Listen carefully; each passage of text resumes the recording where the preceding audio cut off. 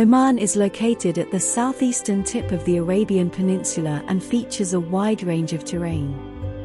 The country is split by a vast desert in the center and mountainous coastal regions in the south with rainforest-like clouds.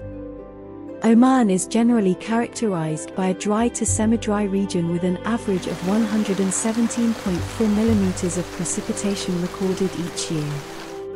Within this variety of terrain, Oman is highly diverse in habitats such as wadis, plateaus, sand deserts, and mountains, where my treasure, Olea europaea subcuspidata, wild olive, is mainly located in three mountain ranges, the western and eastern Hajar Mountains and Dhofar Mountains.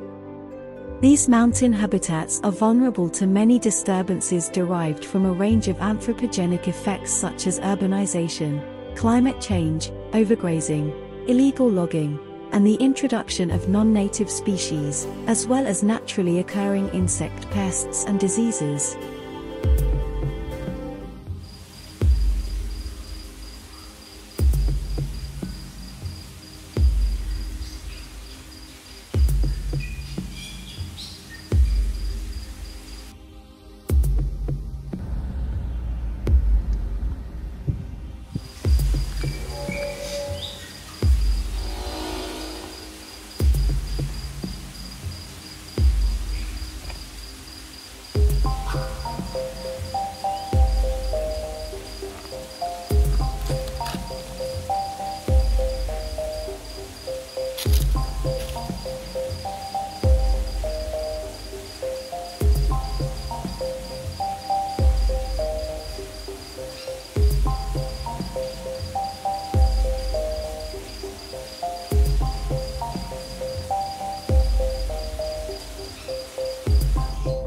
During field expeditions for my research across Oman, no new growth of wild olive was spotted in all the mountain ranges.